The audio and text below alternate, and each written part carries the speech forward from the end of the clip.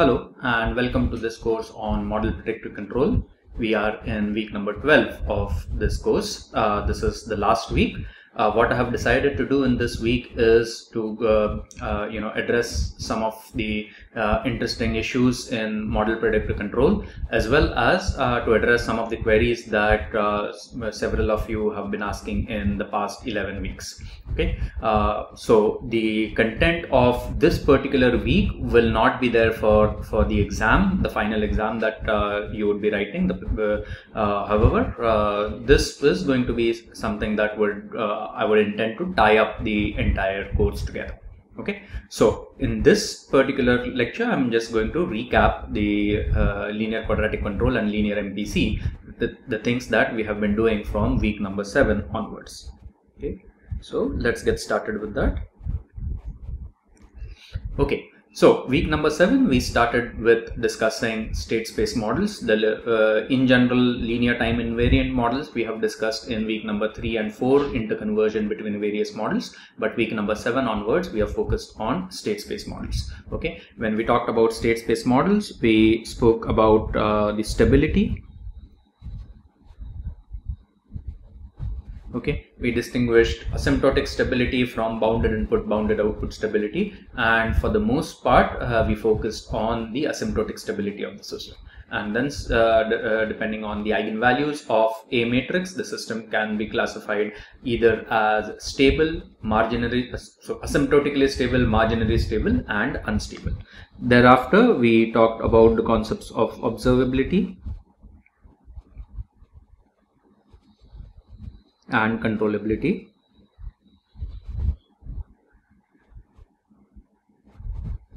Okay, these are very important concepts. Uh, observability depends on the matrices A and C of the state space model. Controllability depends on the matrices A and B of the state space model and for both observability and controllability we looked at two different conditions the Hautus condition uh, which is a minus lambda i comma b or uh, uh, c followed by a, a minus lambda i.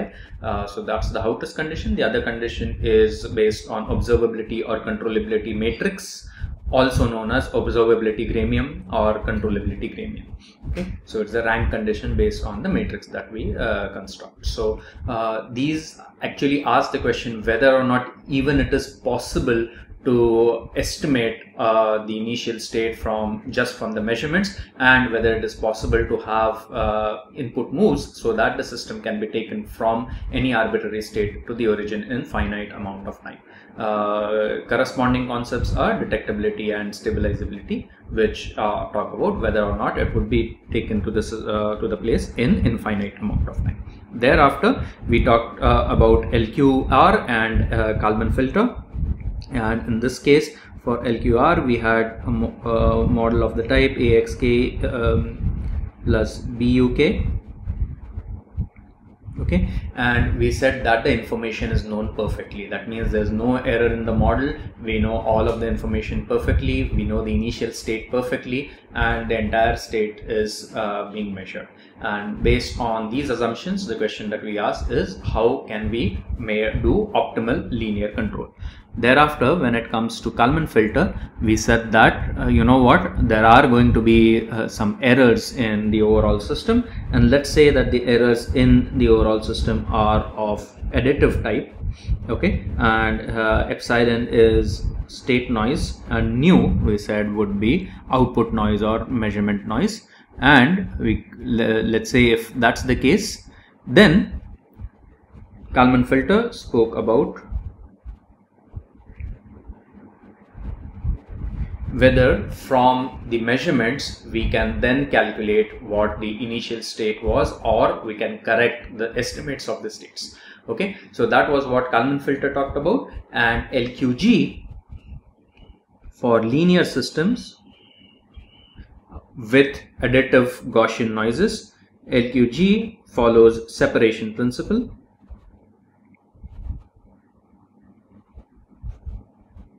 which basically means that independently you can develop LQR, independently you can develop Kalman filter and together LQR plus Kalman filter becomes a closed loop optimal controller. okay that's what we uh, talked about in week number 8 uh, and 9 and in week number 10 uh, of course the first first lecture we uh, introduced you to lqg but thereafter we spent time to talk about practical cases in lqg uh, for example uh, if there is a disturbance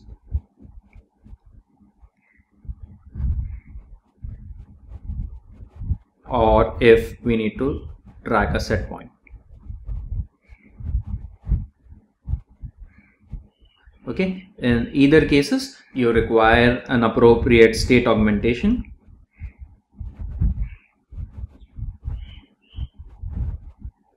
In order to do uh, the LQG okay uh, again, LQG, the idea of LQG, it solves a regulatory problem, which means that you can take the system from any arbit arbitrary point uh, to the origin. And if you have a set point tracking problem, you reformulate it in type in these terms. Okay, and that's what uh, we, we, talked about. But real intent for us to talk about LQG was so that it leads up very now uh, nicely into the state space MPC. And in the state space MPC, we spoke about the model xk plus 1 equal to axk plus buk and yk equal to cxk. And the uh, optimization of uh, uh, was based on y minus set point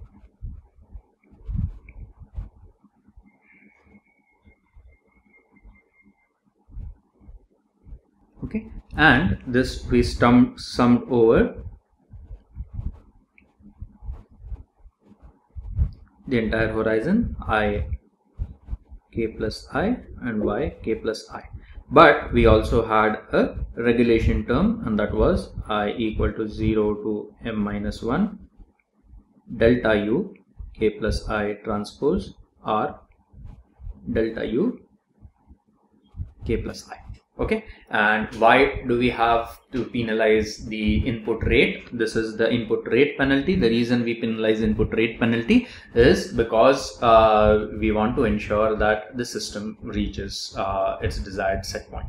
Okay? Uh, you can also uh, penalize the inputs itself but that's not the standard formulation for state space mpc okay. Now this is this uh, most simplest case and which is not of a very large practical relevance. Okay. What is of practical relevance is to be able to address ed multiplied by dk this takes care of uh, measured disturbances and to take care of unmeasured disturbances. Be multiplied by ek or we can write that as be multiplied by let's say wk okay? Now this disturbance can be added in the state or this disturbance can be added in the measurement okay? And uh, it, it would be appropriate to add this particular noise in either of these two places okay? And then we will I will end this lecture to talk about the equivalence between DMC and state space MPC and I have talked about this as, at multiple times in week number uh, 5 and 6 itself. Uh, we have uh, briefly discussed this as well as in the previous week I have discussed equivalence between uh, DMC and state space MPC okay uh, the first thing is that the DMC you have the model of the form yk plus 1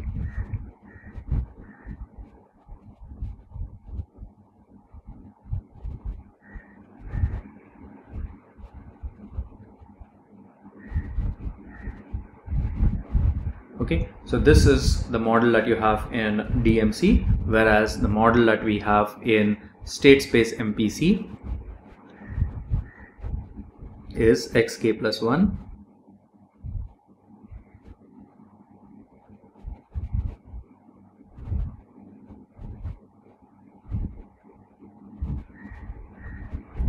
okay so this is the model in uh, state space MPC and then we talked about the rate based formulation where you can difference it and augment it in order to make the uh, state space form uh, very similar to the DMC form as well. Okay so that was one part. This is caters to the state definition. Okay and then when it came to DMC we also developed uh, multi-step prediction equation and the multi-step prediction equation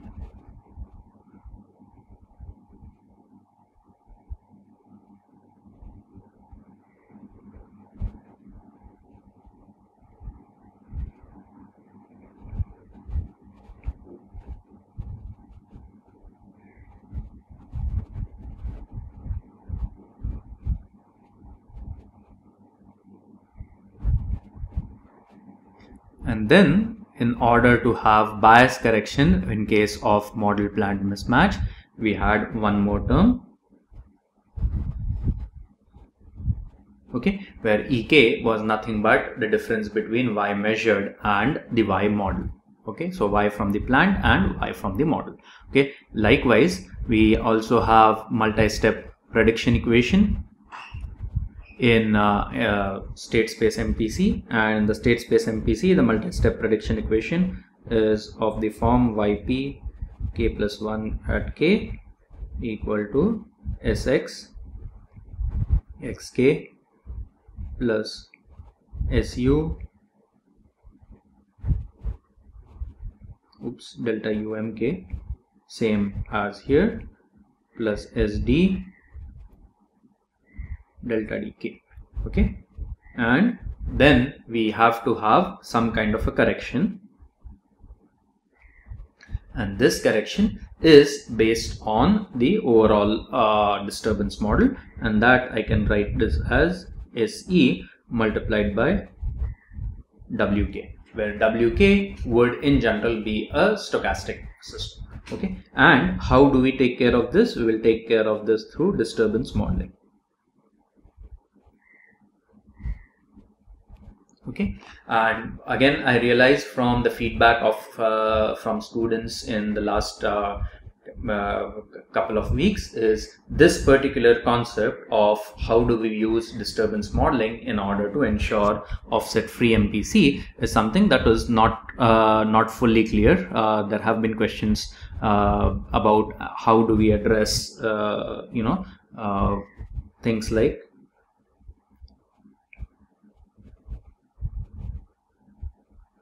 building an integral action. What I meant by building an integral action is really to use disturbance modeling in order to ensure offset free MPC.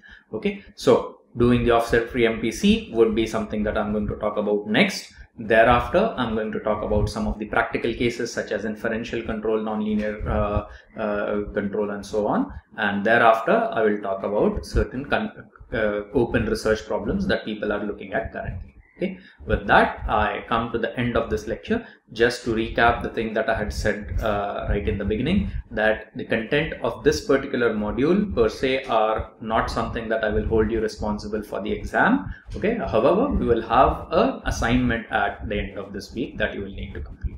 Okay. So with that i come to the end of this lecture. Thanks